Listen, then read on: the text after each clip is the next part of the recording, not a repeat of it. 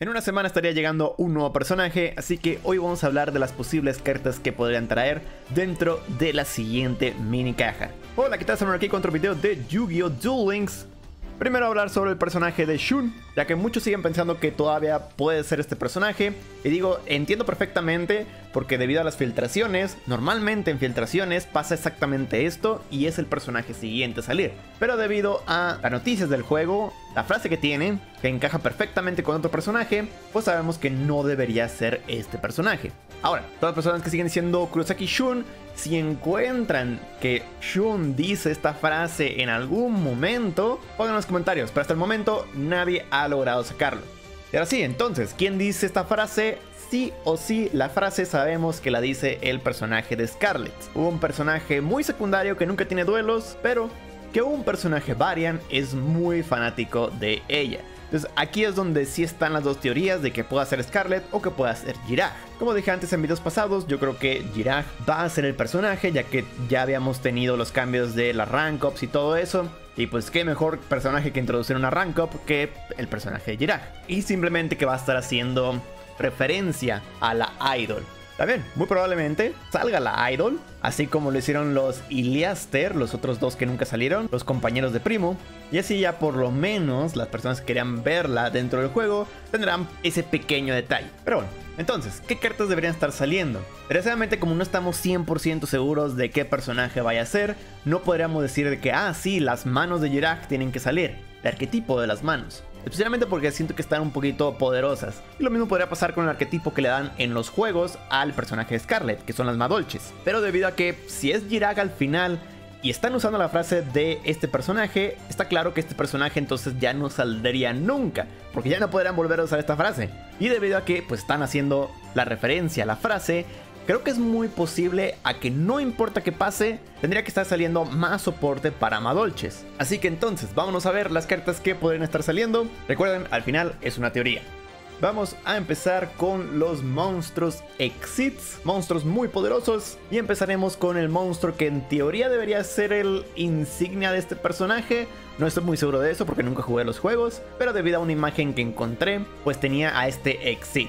Ojo, si no saliera el personaje, pues simplemente saldría pues la carta, ¿no? En sí. Y antes de ver lo que hace la carta, si les gusta este tipo de videos, no olviden dejarle su buen like, me apoyan muchísimo, es la versión free to play de apoyar al canal, también compartiendo el video. Ahora sí, primera carta, Pudinces Magidulce Chocolate a la mod. ¿A la mode? Ni idea cómo se diga. Necesitas dos monstruos de tierra de nivel 5. Es decir, es un poco genérico, puedes sacarlo cualquier deck de tierra nivel 5. Y puedes invocar también esta carta por Exit usando un rango 4 Magidulce o menor que controlas como material. Transfiere sus materiales a esta. Una vez por turno, puedes seleccionar una carta Magidulce en tu cementerio, barájalo al deck. Mientras esta carta tenga a Pudinces Magidulce como material, cuando una o más cartas Magidulces en tu cementerio son barajadas al deck principal, excepto durante el Damage Step, puedes desacoplar de esta carta un material, invoca de modo especial de tu deck un monstruo Magidulce en posición de ataque o en posición de defensa boca abajo. La verdad es que no es tan poderosa, simplemente es una carta de recuperación y un extender en caso de tener a la princesa como material. Entonces debido a eso no le veo tanto problema de que pueda salir así que ya la podemos tener dentro del juego fácilmente. Continuamos con los exits, ahora rango 4, Maggie Dulce, Profesora Basufle. Necesita dos monstruos Maggie Dulces nivel 4 y su efecto es rápido, eso quiere decir se puede activar en turno del oponente. Puedes acoplar un material de esa carta y después seleccionar un monstruo Maggie Dulce en el campo. Ese turno, ese monstruo boca arriba no es afectado por efectos de monstruos, excepto el suyo propio, y también, si una carta Magidulce es mandada a tu cementerio mientras esta carta está en el campo, excepto durante el damage, puedes barajar al o los decks hasta dos cartas en los cementerios. Solo puedes usar este efecto, cada efecto de esta, una vez por turno. Entonces, esta es la que sí está decente. ¿Por qué? Porque es un efecto rápido de protección. Obviamente dices, no, pues nada más te protege de efectos de monstruos. Pero en el momento que envías una carta al cementerio, se activa el otro efecto, que es regresar cartas de los cementerios al deck.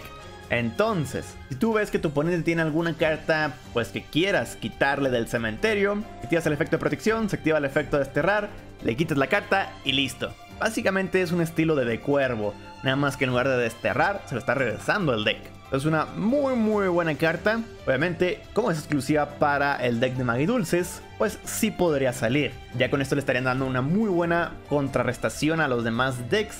Y por último, Magidulce Reina Tiramisu. También necesitas dos monstruos Magidulces de nivel 4 y lo que hace es que una vez por turno, desacoplas un material de esta carta y seleccionas hasta dos cartas Magidulces en tu cementerio, baraja esas cartas al deck y además, después de eso, Baraja el deck hasta tantas cartas que controla tu adversario como la cantidad de cartas magidulces de vueltas. Aquí agradezco a mi chat de Twitch por haberme aclarado que puedes activar el efecto aunque no tengas ninguna carta en el cementerio y el material que obviamente tiras al cementerio es un magidulce y por lo tanto puedes regresar ese magidulce que desacoplaste. Entonces mínimo vas a poder regresar una carta que controla tu oponente a su deck.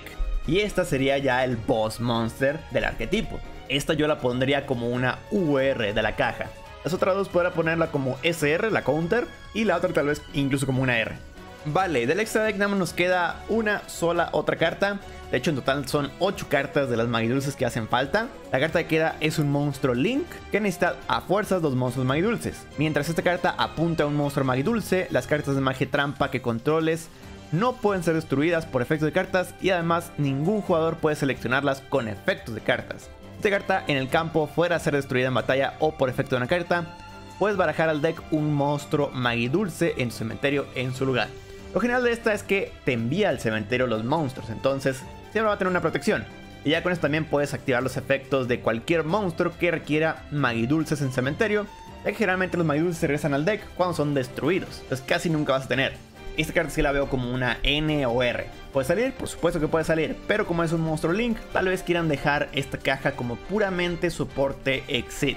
Vale, del deck principal, nada más quedan dos monstruos. Magidulce Angeli.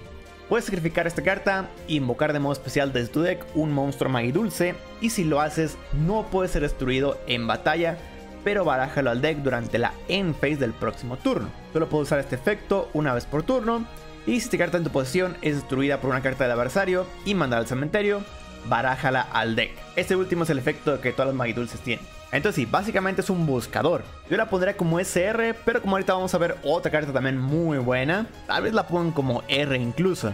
Siguiente carta, Petincesor Magidulce, la pequeña princesa. Esta carta en tu posición es destruida, bueno, eso es lo mismo que todas.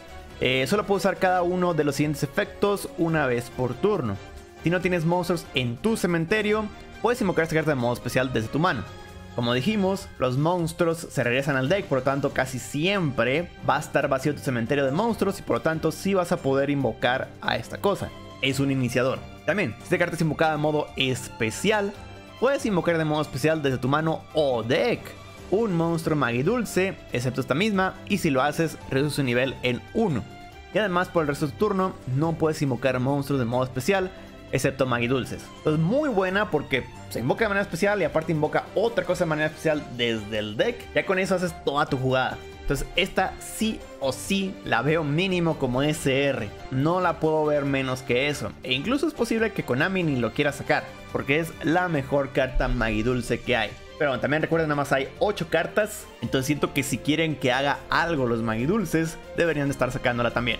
Y las últimas dos cartas son cartas de magia trampa, Salón Magidulce, carta continua. Durante tu main phase, puedes invocar de modo normal un monstruo Magidulce, además de la invocación normal que tienes. Si otra u otras cartas Magidulces que controlas o en tu cementerio son añadidas a tu mano o barajadas al deck por el efecto de una carta, coloca una carta de magia trampa Magidulce directamente desde el deck, excepto esta misma. Solo puedes usar este efecto una vez por turno. No está nada mal, te permite hacer más invocaciones y te está permitiendo también sacar más cartas de magia trampa. Entonces es un semi buscador. Por supuesto creo que la otra, el monstruo, va a ser un poquito más importante. Por lo tanto creo que esta, digo, para no poner un montón de cartas SRs y URs, tendría que estar saliendo como una carta R. Pero la verdad es que ya es bajarle un poquito, o sea, sí merece el estatus de SR. Claro, como estamos en DL, muy probablemente nada más se use a una sola copia. Y la última carta, Paseo Magidulce, carta de trampa. Selecciona una carta boca arriba de control de tu adversario y un monstruo Magidulce que controles o en tu cementerio. Hasta el final de ese turno, niega los efectos de esa carta del adversario y si lo haces, devuelve a la mano tu monstruo. Puedes cerrar esta carta en tu cementerio y después seleccionar un monstruo Exit Magidulce que controles. Acóplale como material otro monstruo Magidulce en tu mano, deck o cementerio. Solo puedes usar un efecto de esta carta una vez por turno y solo una vez ese turno. No está nada mal, puedes negar el efecto de una carta. Por supuesto necesitas tener pues un monstruo, ya sea en el campo o en el cementerio.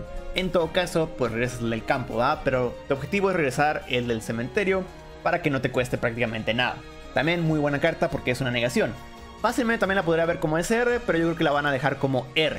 Y si fijan, estas últimas tres cartas, las tres tienen al monstruo eh, pequeña princesa dentro de su arte, por lo tanto creo que, pues, pues sí, la carta de trampa, carta de magia, solamente pueden salir si sale el monstruo en sí.